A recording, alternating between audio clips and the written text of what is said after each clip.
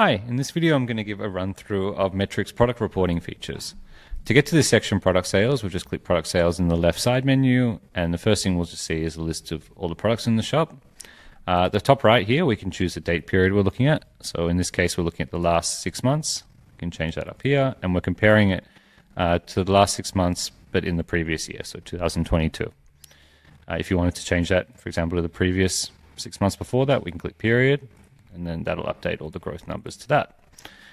Uh, from this page, we can just see all the products in the shop. So we've got 31 products. We've got some totals down the bottom. So just looking at all the products on this page, we can see the total net item revenue, a number of uh, products sold, the stock, and then you'll notice here a few extra columns, COGS, net profit, and margin. These are here for this store because we've set up uh, Metorik's cost feature.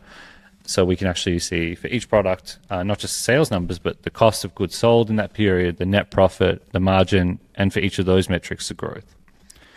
Uh, from this page, you know, you're just seeing all your products by default, and we're sorting it um, by net sold descending order, but you can change that if you wanted to, for example, view it by title in ascending order. You can do that. There's a bunch of other options here to choose the ordering.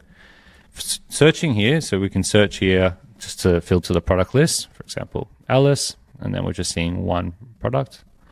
And we also have access to the product segmenting system. So a bunch of filters um, such as title, SKU, category, stock quantity, but also things like the price or the weight. Um, all of these filters can be used to filter which products are showing on this page.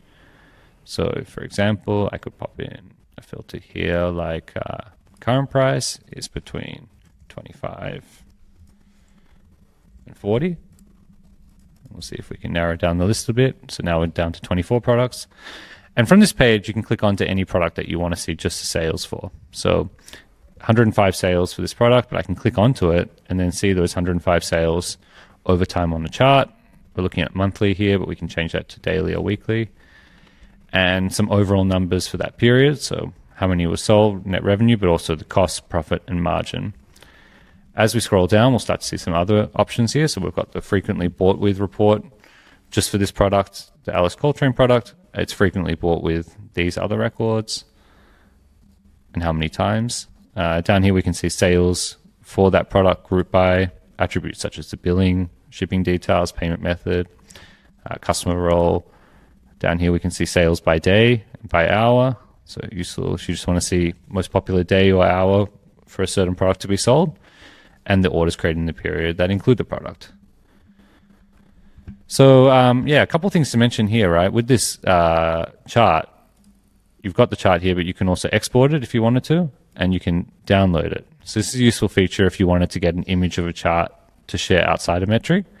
Choose a background color or something custom here. We can change the title. So if it's a bit long, you can control if the y-axis is showing the title, dates. And when you're done, you can download that to have an image to share outside of Metorik. We also have a forecasting feature, which is quite useful. So if I was to make this uh, weekly and then I wanted to forecast it out, I can click the little button here and Metorik will try to predict the sales for the product based on seasonal trends and things like that. Uh, from here, we've got on the left the category and the brand. So I'll show you the category page from here. So clicking on the Jazz, we can now see 16 products in that category. And that whole report that we are just looking at for a certain product, we can see it for the whole category. So now we're looking at monthly sales for the entire category, overall cost, profit, margin, sales grouped by various attributes, and more. Uh, we can use this page to click into a different product as well. And, and speaking of categories, so we actually have a categories page here on the left. And from here, you can just see all the categories or collections that your store has uh, and the stats for each category. So we could see, for example, Latin has had 447 sold versus Pop 268. We can click onto either one and see those 447 uh, over time with the chart and group by various filters. From the left, you've got a, a few other options, um, such as like groups. Groups are a feature um, in Metorik for creating your own custom product groups to report on. So think of them like categories, but internal categories that customers will never see. This doesn't impact your store at all. It's just a feature in Metorik. But when you have, you want to create a group of similar products to look at the sales combined, this feature is really useful. So, for example, I can click Create Group to say certain group, and then I can start to add products into it. You can add um, products or variations of a product. We can create that. And you can create as many groups as you like, and then they'll all be on this one page where you can see the sales for them together. So here we've got, for those three products, a total of 306 sold, and then the sales for each product here, and then the chart. So it's yeah, quite quite useful and similar to categories, but again, like completely custom within Metorik. And um, while categories are something that you define on your store, and customers might see, brands are similar. They're like um, brands or vendors, depending if you're using Woo or Shopify. Um, we're automatically grouping your products by the brand, so you can see the sales stats just for certain brands. So before I jump into some of the other reports we have here, I want to show you a really useful feature. If we're just looking at the last six months of sales here, that's great. But what if we wanted to see sales just from a certain uh, country or something like that? To do that, we're going to click this segment report button at the top.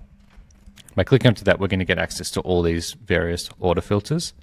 So for example, as I mentioned, country, we can apply filters such as that. We could say Australia or United Kingdom click update and you'll see the numbers will get a bit lower as we're just looking at orders from those regions now. And you can just keep stacking filters here. So we could, for example, say, okay, well, I only want to see orders with a total over 100. And it starts to get a little lower. I might add in another country here, such as US. And then we can add other filters, such as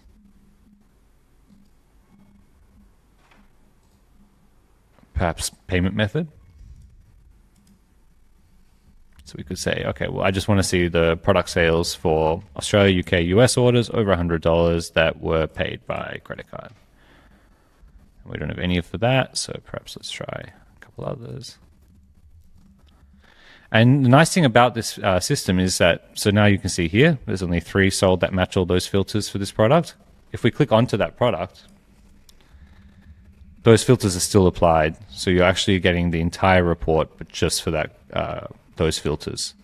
So yeah, really useful for just like kind of zeroing in on your data and narrowing it down to certain types of orders.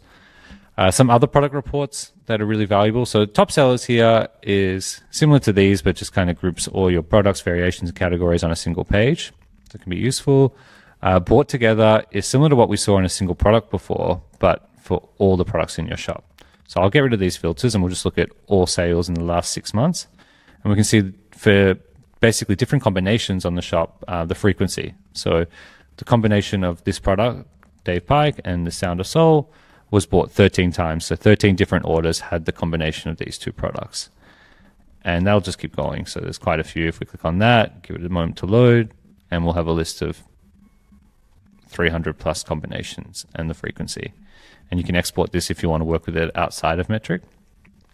Uh, the stock velocity report is quite useful for figuring out how much stock you have left and when it's going to run out. So we determine the daily uh, gross number sold over the last 30, 60, 90 days, up to you. And then using that and the current stock, we can estimate when the stock will run out. So, you know, here, for example, right, and I might actually change the ordering. So let's say days of stock is how we want to order it. So these are in back order, these are an issue, but perhaps down here we can see um, this product has three in stock on average, it sells 0.65 a day, so five days of stock, and we're estimating today's October 17th, so estimating by the 21st of October, this product would run out of stock. While down here, we can see there's a bit more stock and maybe a bit less sales frequency, so a longer amount of days of stock left.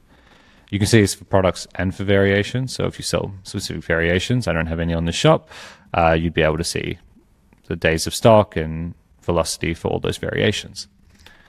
We also have here uh, a compare products report. So this is useful for just selecting a handful of specific products or variations and comparing the sales over time just for those products.